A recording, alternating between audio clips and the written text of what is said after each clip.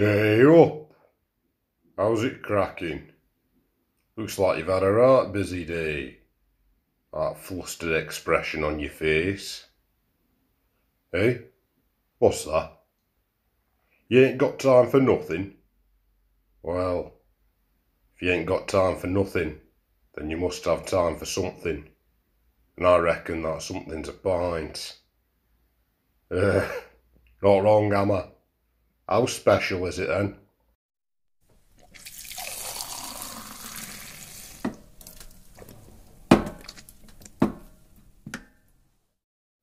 There. Get your laughing gear round that. Funny thing, isn't it? Time, I mean. Sometimes you never have enough. You squeeze every second out of the day like a miser squeezes a penny. But on occasion, it can seem like you're adrift on a sea of hours. I guess that's just the way the scythe swings. Used to know this bloke actually, Pat Cooper his name. Obsessed with time he was. Then again, he were a watchmaker, so he would be, wouldn't he? Used to have a workshop just off High Street. The Tick Tock shop. Gone now, of course. Like many of the shops on the street. Casualties of the recession. Not much call for bespoke timepieces during an economic downturn. That said, I don't reckon his heart had been in it for a good few years. When I first met him, back in the 80s, being a somewhat excitable and passionate bloke. But after a strange incident back in June of 1986, that all seemed to change. I just opened up for lunch, and like clockwork, Pat come in with a small brown wooden box under his arm. He ordered a black and tan, usual tipple, and went and sat over yonder, uttering barely a word. Strange, I thought, as he were usually quite affable, but I paid it no mind. We all have bad days, after all. Not five minutes later, this gent came in, dressed head to toe in tweed he was, looking quite the lord of the manor. He had a quick scan round, and on spotting Pat, walked over to his table. He took a seat, turned to me, and in a rather oity toity voice said, Whiskey, double, on the rocks. Right one, I reckon. Anyway, as I was making his drink, I noticed Pat slide the wooden box over to him. He opened it up and eyed the contents curiously. I took the drink over, a courtesy I usually would not have extended. But, nosy parker that I am, I wanted a gander at what were in that box. To be honest, I'm a bit disappointed. We're not but a carriage clock, and a rather plain looking one at that. So I went back behind bar did a bit of titivating. There were a brief exchange between Pat and his tweed-clad acquaintance. Then in one quick motion, Tweedy pulls out a fat roll of tens, knocks back his whiskey, picks up the box, gets up and leaves. Brief nod to me on the way, like. That's when I heard Pat breathe a long sigh of relief. Good business then, Pat, I shouts over to him. Ah, you could say that. I were about to quiz him, but it was starting to get busy, with all the folk coming in on the lunch break. At 2.30 I called time. Not that there were many in by then.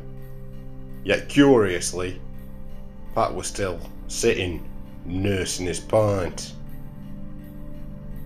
Odd that, I thought to myself. Pat were usually the one part and get back to work kind of fella. So I says, Here, Pat, ain't you got a shop to get back to? Looks up at me, bit startled. Taking the afternoon off, Jack. Not feeling up to it, mate. Fair dues. You can't stay here. I'm closing. Oh, is it really that time? Aye. Here, are you alright, Pat? Don't quite seem yourself. It's nothing. Silly, really. Sorry, I'll get myself gone. Well, you know me. Any hint of a good story, and I'm on it like a student on a free meal. Don't sound like nothing, Pat. Here, you stay put. Just let me lock up.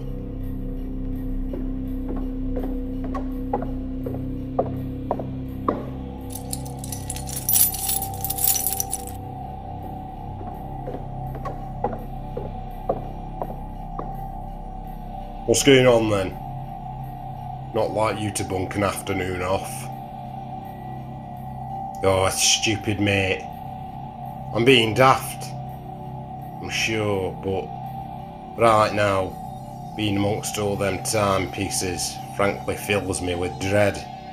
It's the ticking, see? The damn ticking. Can't get it out of my head. That clock. Ticking. Mean the one you just flogged to that gent? The very same. Picked it up at a car boot sale Sunday just gone. Should have known better. Dead man's timepiece. Nowt but trouble. But it were a steal Jack. Two bob. Didn't know what they had. What do you mean, dead man's timepiece? Well, got talking to the last running store selling off a load of her father-in-law's stuff. He passed a year ago, under strange circumstances. Oh, really? How strange we're talking. Froze to death. Found him hunched over his mantelpiece, all black with frostbite. Ah, that is a bit off, isn't it? I'll say. Apparently, the poor bloke were barely into his 50s, fighting fit, run marathons and all that. Anyway, weren't really much on a store worth looking at. Mostly all sports gear and that kind of capey. How that clock found its way into his possession, God only knows. But find its way it did. And in turn, into my greedy little mitts. I knew it for what it was straight away quality little Victorian timepiece. Fetch a good price at auction. And I happen to know a few potential buyers. For the sake of two bob, what did I have to lose? Of course, when I got it home, I had to have a tinker. That's when I got the sense that there was something not quite right about it. First thing I noticed was the maker's mark had been altered. To what purpose I shall never know. But even stranger, the inner workings and mechanisms resembled those used specifically within nautical chronometers. If I didn't know any better, I would have thought that for some unfathomable reason, a ship's chronometer had been secreted away in the casings of a parlour carriage clock. But alas, not my mystery to solve. I got on the blower to a couple of my associates, and after a bit of back and forth, found a buyer, the man I met earlier. So I put the clock back in its box, left it in my study, and put it to the back of my mind. I'd more or less forgotten about it. Until last night. I know I'm no madman, Jack. If I were, it'd be a comfort, for I would know what I saw was naught but the fevered imaginings of an unsound mind. I'd fallen asleep downstairs. I have no doubt I would have remained there had I not been woken by a sudden chill. The room was absolutely Baltic. My breath, it were actually misting in front of me. I know, I know, in June as well. Hasn't exactly been cold, has it? I thought I may have left a window open, so I checked. They were all closed fast, but rather bizarrely, I noticed they were starting to frost over. I concluded that I were overly tired and probably just seeing things, so I went up the wooden hills to bed. That's when it happened carriage clock began to chime. Strange, I thought. I hadn't remembered winding it. But I paid it no mind and carried on to bed. But the chiming, it didn't stop. Carried on and on, seeming to get louder and louder until it were near unbearable. Sold this for a box of monkeys, I thought. I stomped into the study, wrenched open the box lid, and the chiming, it ceased. But suddenly, I was acutely aware that I was no longer in my study.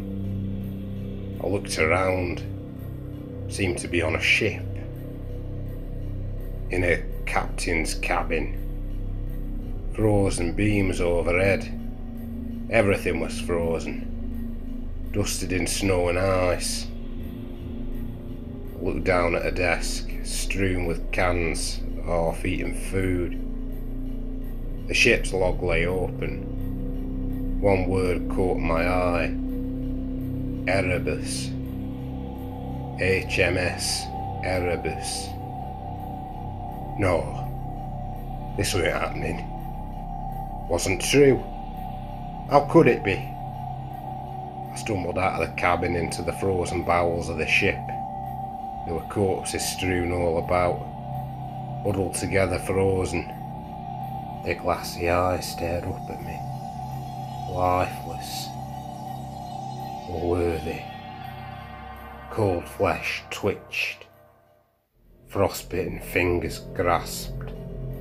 One by one, the crewmen rose to their feet and shambled forward sick with terror, floundered onto the deck, slipping, sliding, went horse over tit, gazing up into the Arctic night.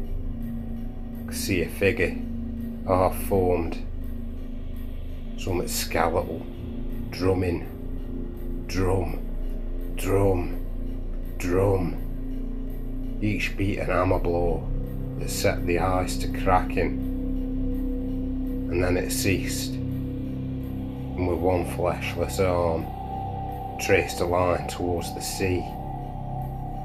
Go, go, it rasped, and I ran, ran through that land, so wild, so savage, frozen souls, lost forever, hard on my heels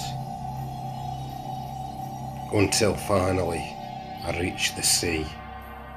And in defiance of all reason, I dived into that midnight abyss, shards of ice filling my veins, stealing my breath, and darkness took me. I woke on the floor of my study some time after, the carriage clock lying close by, ticking away merrily tick, tock, tick, tock, tick, tock. We were never the same after that. All passion for his craft gone. In the end, I reckon he were happy to see that shop go under. No idea what he's doing now seemed to just fade into background until one day, poof, you were gone. without a word. The carriage clock, though, well, that's another story. I happened upon an article a few years back entitled An Arctic Riddle. The Royal Observatory had acquired a rather familiar sounding timepiece, a Victorian carriage clock. For ten years it had languished in the observatory's clock workshop until in 2009 when a Mr. John Betts, the Royal Observatory senior horologist, decided to inspect the simple looking timepiece. As it transpires, the clock was in fact a converted ship's chronometer. Betts noted that a fake maker's name had been stamped crudely on the clock's face, barely concealing the words Arnold 294. Why would this was the case, Betts could only surmise. But the greater mystery was what the chronometer was doing lying on his workbench. For you see, the Arnold 294 had been assigned to the HMS Erebus, one of the two lost ships of the doomed Franklin expedition. By all rights, the timepiece should have been lost to history. All very strange, especially considering Pat's rather chilling experience. Stranger still, took place on the 11th of June, the anniversary of Sir John Franklin's death. Of course, I'm sure there'll be a perfectly rational explanation. Something to do with physics. Probably. But what I will say is this spend all your time staring at the clock. Eventually, it's going to start staring back. You know what I mean? So, you having another? Alright. Things to do, folk to see. I get you. Time and tide and all that. Well, if you need out, you know where I am. Just ring that there bell. Have a good one. I'll be seeing you.